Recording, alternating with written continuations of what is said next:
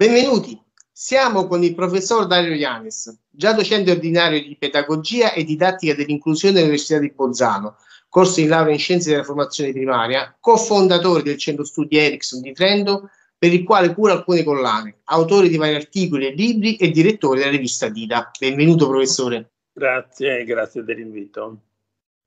Professor Ianes, ci eravamo lasciati con il dubbio sul ruolo di Indire nella formazione dei docenti di sostegno.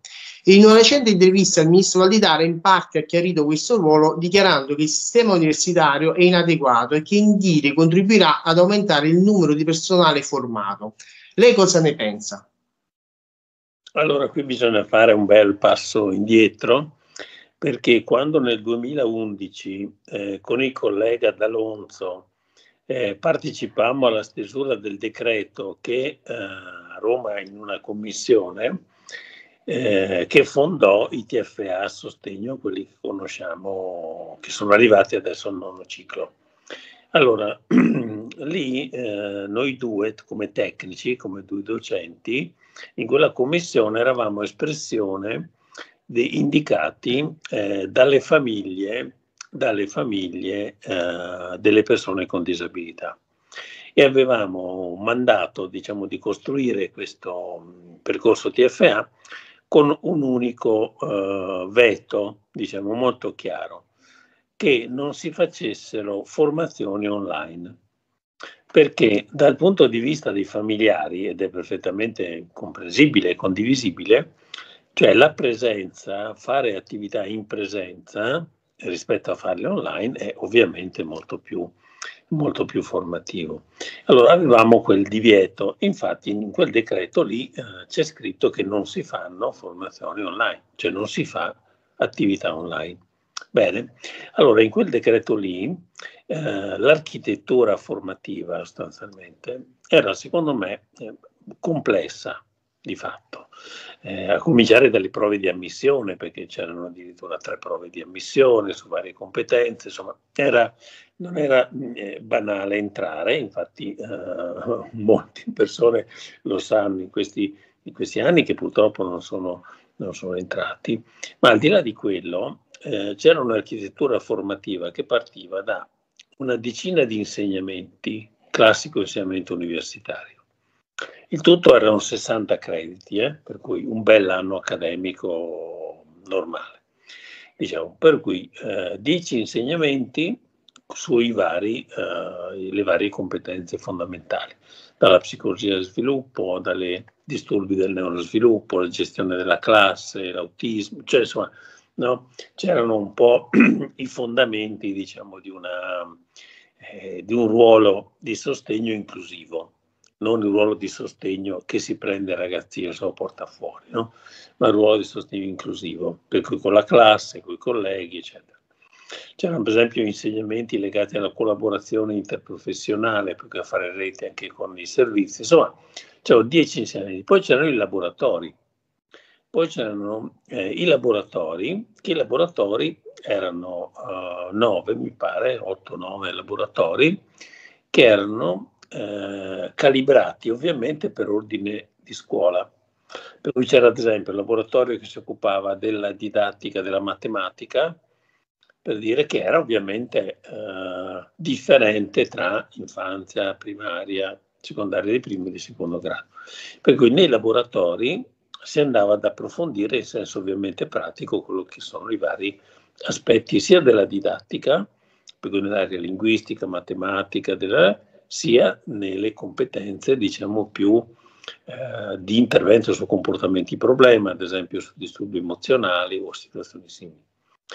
Poi c'era il tirocinio, per cui c'era anche il tirocinio, ovviamente, un tirocinio, diciamo, gestito da parte dell'università con dei tutor, con dei tutor che trovavano la scuola, trovavano una classe, coll- si collegavano col tutor della scuola, cioè che avrebbe accettato, che accetta, diciamo, il tirocinante e lo porta con sé nelle varie attività, e eh, il distaccato in università, docente distaccato in università, che faceva con le studentesse e gli studenti una rielaborazione dei loro vissuti di tirocinio e delle loro attività.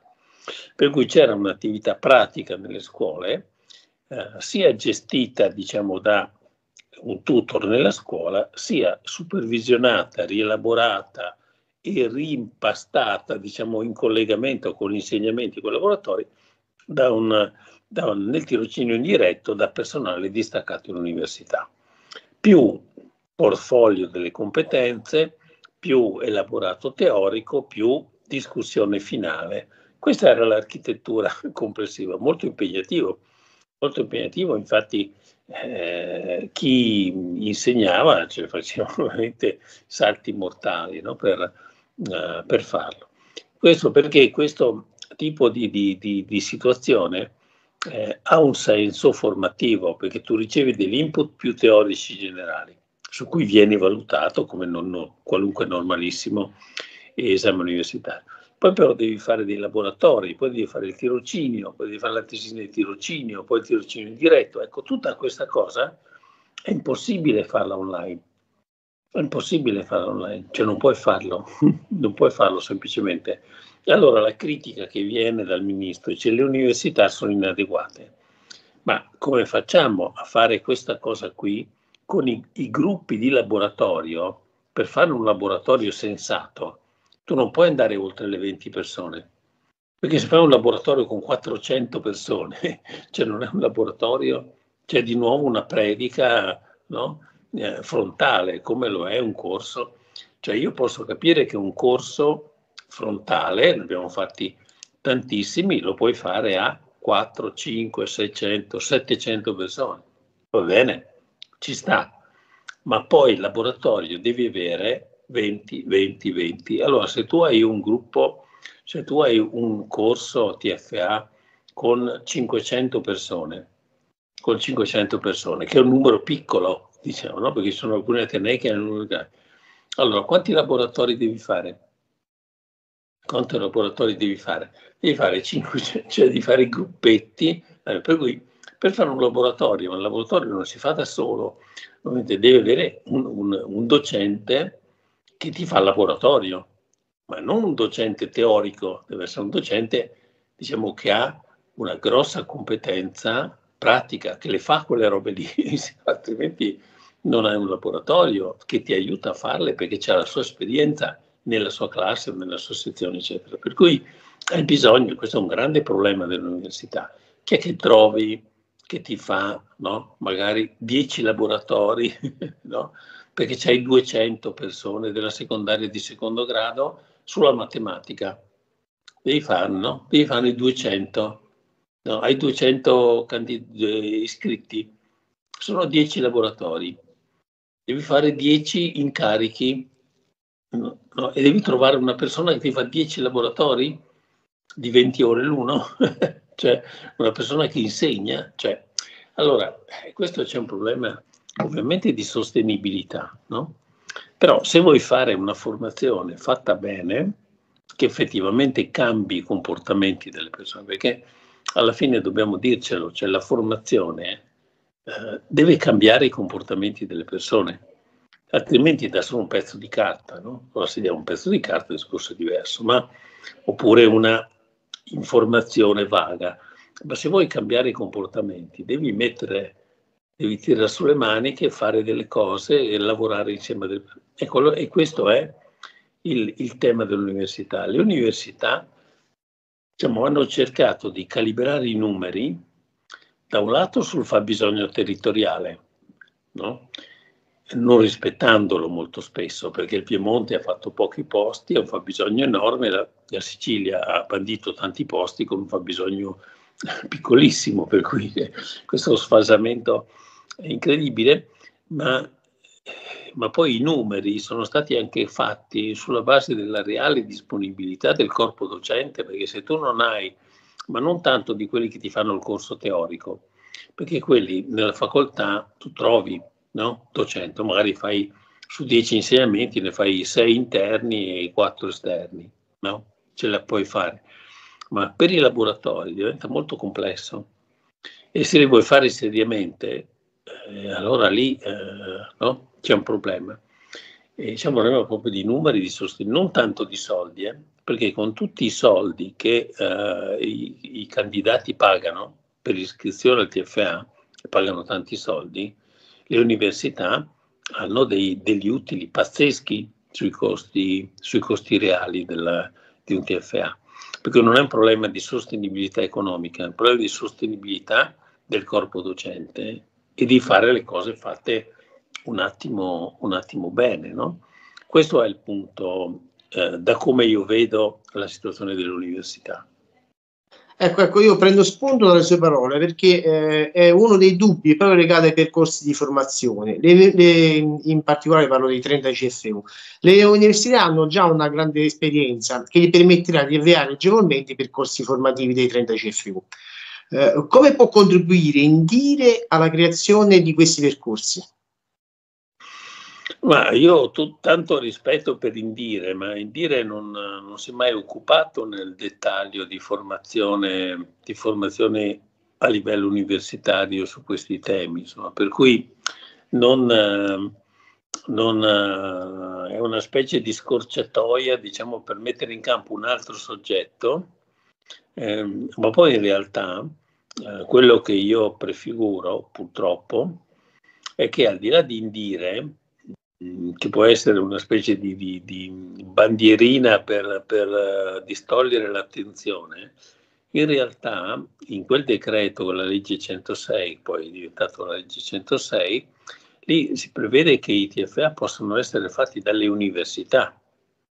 Per cui università vuol dire tutte le università, anche le università telematiche, visto che li puoi fare online.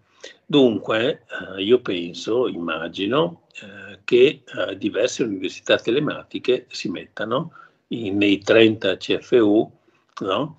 a, a, bombardare, per cui eh, a fare una formazione diciamo massiva uh, tutta online sui 30 CFU per cui senza quel discorso di laboratori piuttosto che di tirocinio, tirocinio indiretto, tutte quelle quegli elementi che, che conosciamo. Insomma, per cui um, io sono convinto purtroppo che non sarà una formazione di buona qualità, perché saranno delle video lezioni uh, e, poco, e poco più.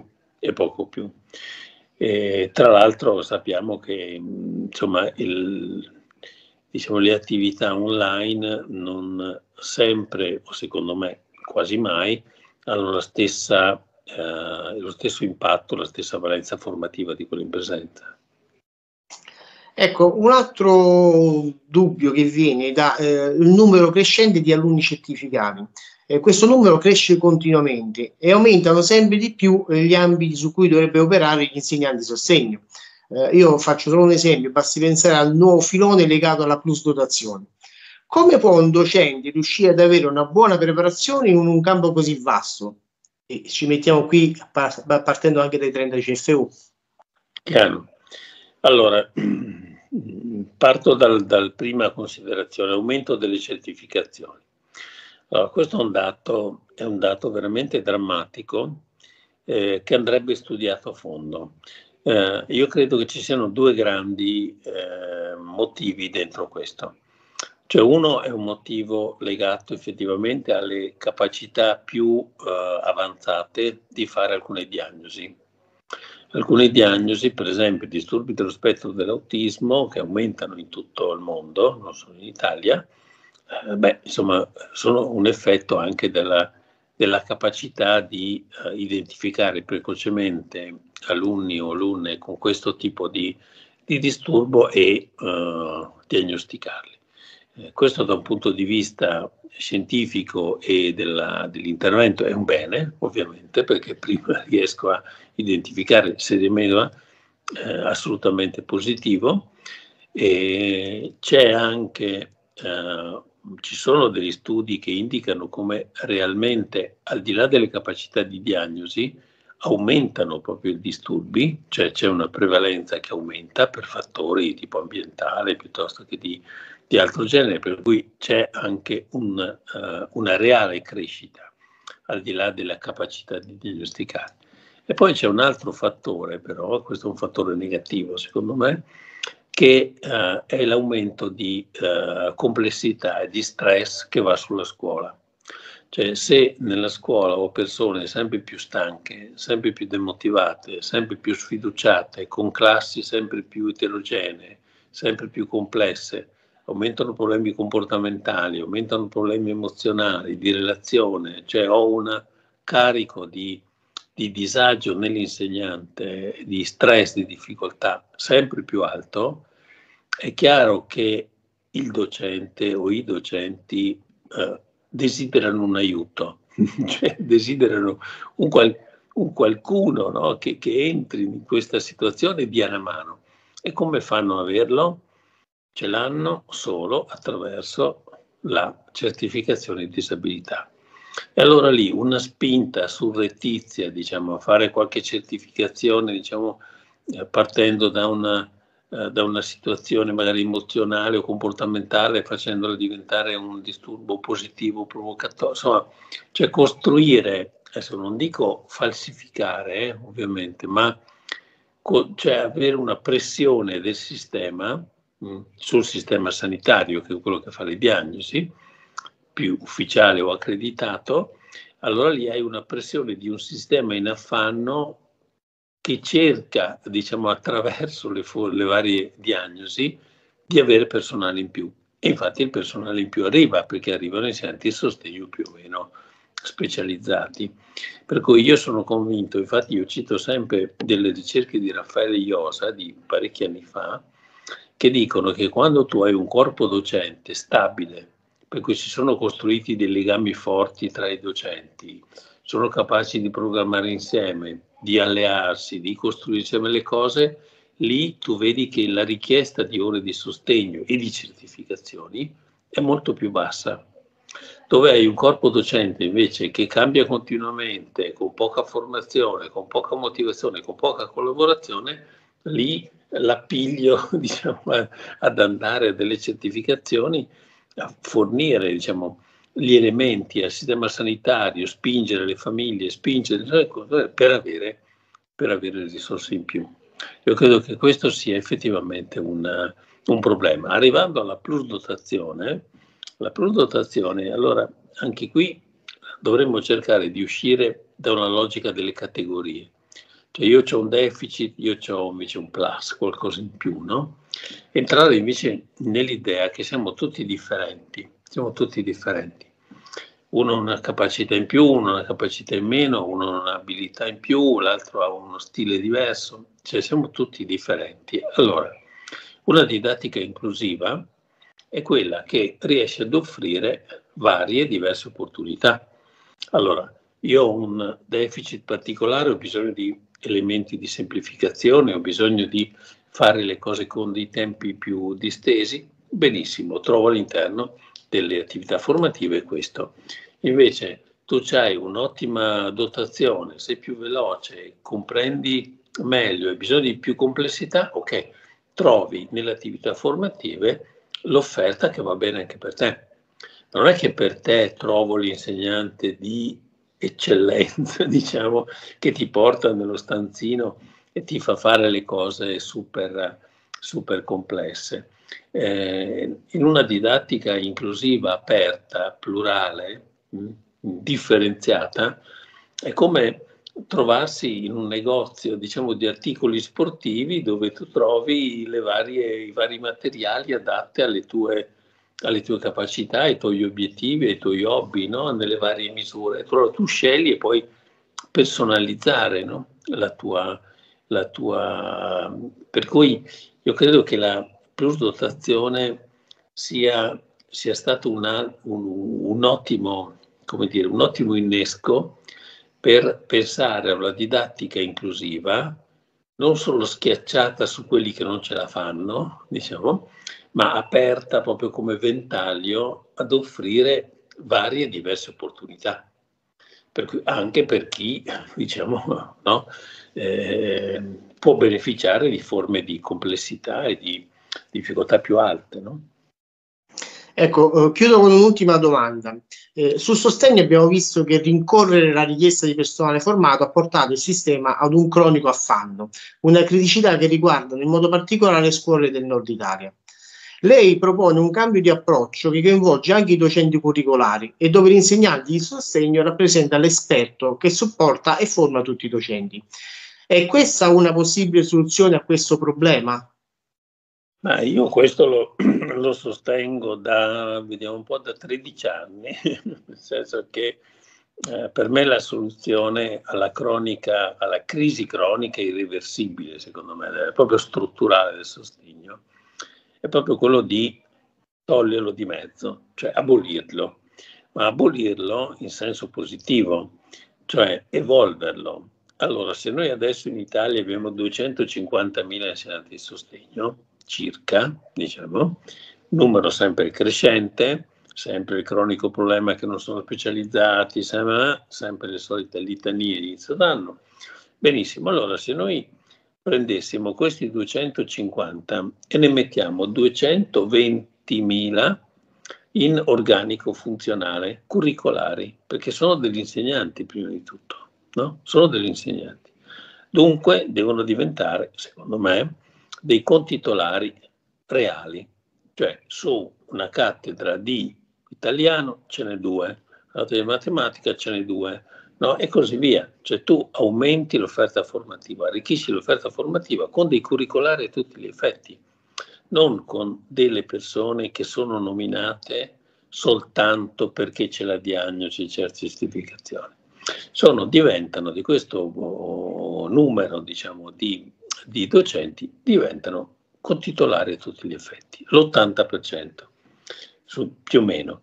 Il, quel 20% rimasto sono i più bravi, diciamo solo quelli che hanno sviluppato negli anni veramente delle competenze eccezionali, eccezionali fatte di convegni, master, lauree, cioè hanno fatto tutto a, a spese loro con grandissimi sacrifici, quelle competenze lì devono essere messe a disposizione di tutti i colleghi con degli esperti, diventando degli esperti itineranti, chiamiamoli così, cioè su un ambito, su una rete di scuole, su, una, su, una, su un territorio, in modo da poter essere veramente quelli che con la loro specialità, con la loro specializzazione, con le loro competenze, vanno a formare e vanno in situazione, no, non fanno prediche o non aprono sportelli, ma vanno in classe, vanno nelle situazioni concrete a far vedere come si fa, aiutare i colleghi. Perché non c'è più l'insegnante di sostegno classico, diciamo. C'è un corpo docente più ricco, più potente, con più di 200.000, insomma, eh, parliamo di numeri che fanno veramente la differenza, perché su un corpo docente tu metti un 25% di persone in più, quel corpo docente si arricchisce in un poco, per la gestione di tutta quella, quelle cose che si dicevano prima, cioè la didattica plurale, differenziata, l'offerta, l'offerta che può andare bene per chi ha un problema, per chi ha un'eccellenza, quello. Dall'altro lato tu hai 25-30 mila persone, per cui non poche, che presidiano sulle basi delle loro competenze le varie scuole. C'è chi è esperto di autismo, chi è esperto di comunicazione aumentativa alternativa, chi è esperto più di aspetti emozionali, chi è esperto di apprendimento cooperativo, per cui va, va nelle classi a, proprio a, a, modificare, a modificare la realtà. Questa secondo me è la soluzione, è la soluzione della, del tema del sostegno, cioè evolvere in due direzioni. Da un lato tu evolvi di più verso la normalità del corpo docente, perché è lì che si fa l'inclusione, no? si fa con, cioè, e dall'altro lato crei una struttura di forte competenza, di forte competenza che dà supporto tecnico ai colleghi, che spesso sono da soli e non sanno cosa fare. Grazie professor Ianes per essere stato con noi. Grazie a voi, in bocca al lupo.